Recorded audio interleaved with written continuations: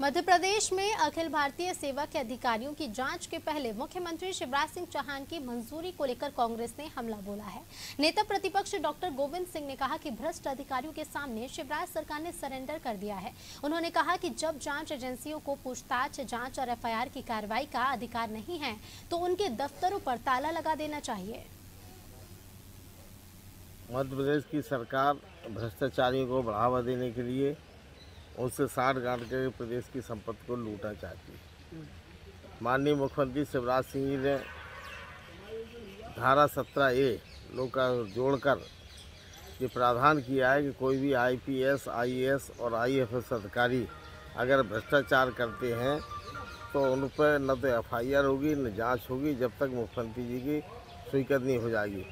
तो लोक आयुक्त तो और आर्थिक अपराध ब्यूरो जो भ्रष्टाचार निर्माण के लिए बनाए गए थे, इनका औचित्य समाप्त हो जाता है। इससे साबित होता है कि मुख्यमंत्री शिवराज सिंह जी अधिकारी नौकरशाही के दबाव में उनके भ्रष्टाचार को दबाने का प्रयास कर रहे हैं। हमारी मांग है कि मुख्यमंत्री जो लिया है, तत्काल इस आदेश को वापस करें और प्रदेश में भ्रष्टाचार परम से रोकने का काम करें।